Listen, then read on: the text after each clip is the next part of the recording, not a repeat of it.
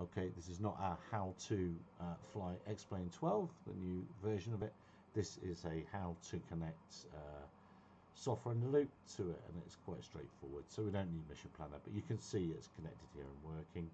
Let me pause this. What I haven't done is seen uh, settings is here. Can you see that? Yeah, you can. Okay, splendid. So all you need then, data output. Oh, well, let's go network first. So these are the ports. This is the setup. Don't look at my IP address. So port will receive on 49010. Uh, port receive on legacy 49000. Port receive on from legacy 49002. Make sure accept incoming connections is ticked down at the bottom.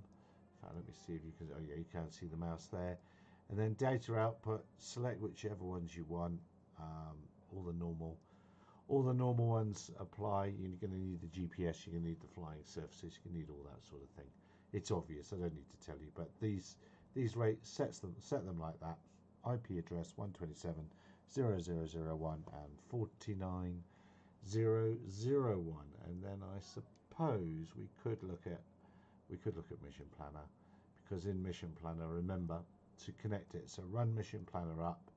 Uh, are you going to see this? I wonder uh, simulation tab. Oh yeah, you are. Then you want X-plane, and then you want plane. So that's as simple as that. We need not to say anymore, and then hit um, this connect away, and it'll work.